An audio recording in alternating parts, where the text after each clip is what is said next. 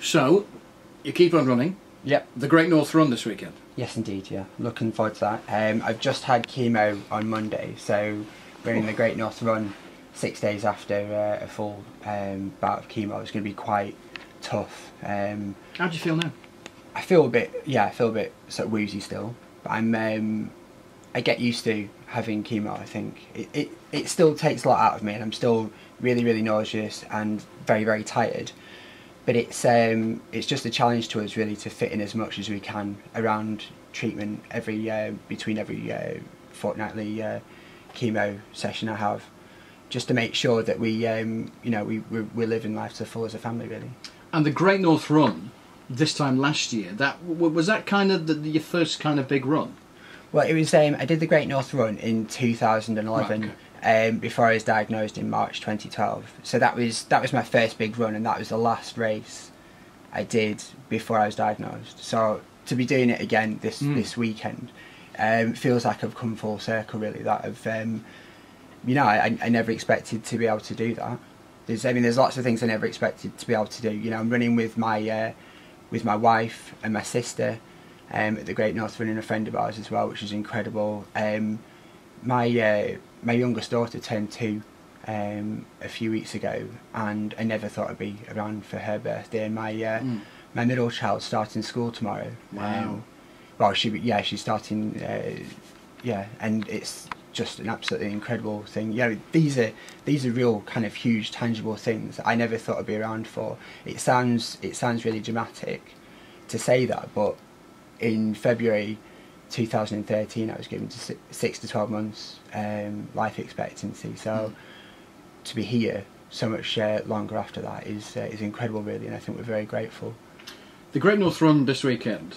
You've Mhm. got Berlin when? That's the 28th of September. But you threw another one in, didn't you? Just uh, just uh, another half one. Another, yeah, we did the Blackpool Hilton half marathon at the weekend, Right. and it, my cousin was up from uh, London, and it seemed like a wonderful, you know, great thing to be able to do with him. I've never run a, a race with him before, so that was an, a, again another thing I never thought I'd be able to do. So I, I just take, I think every opportunity to um, to enjoy life as, as much as I can really, and I think for me, obviously, running is really important um, for that, but it enables me to do so much as well. I think if I'm up and about training, running, then I'm also around for the girls when they're uh, waking up, and I think it helps to energise me. And I, I really feel like it's helping to fight cancer as well. Mm.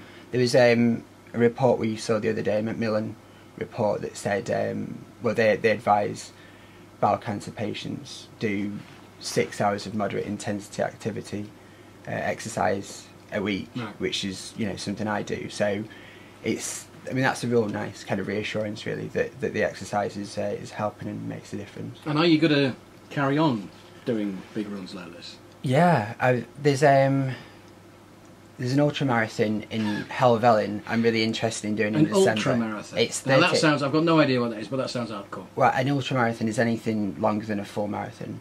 So this one would be 38 miles, and Right. that's in December in the Lake District in Helvellyn. So Right. that's I'm re- I'm really interested in doing that. But there's there's a few more things I need to work out. I'm also really interested because I always say I, I swim so badly. There's no Yeah. point saying I can't swim. Um, I mean, I'm really dreadful, and it's been a big kind of hang up and a fear of mine. So I think I'd really like to try and tackle an open water swim or uh, some sort of uh, fitness challenge based on swimming.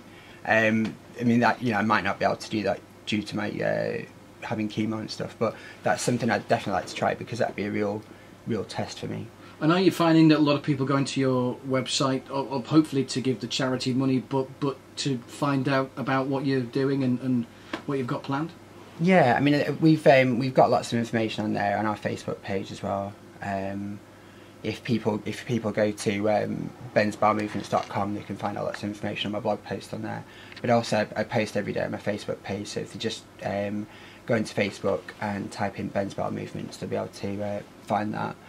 But it's um, these are these are things we never expected to be able to do. We've now made our target of um, ten thousand pounds. We've raised ten and a half thousand pounds now, and we're expecting to raise much more. But that money is going to enable the charities that we're supporting to do so much to help the families of people with cancer. and and those that are, um, are going through cancer as well. So I mean, we're we're really really really glad to be able to have uh, to have done that, um, and it's uh, like I said, it means an awful lot to them. Um, but I think to be able to promote um, awareness about cancer is really important to know the symptoms as well, um, and we're we're really really glad to be able to do that. Well, good luck. I hope the kind of chemo wooziness goes uh, before Sunday, It will in time. and we'll see you soon. Thank you very much. Thank you very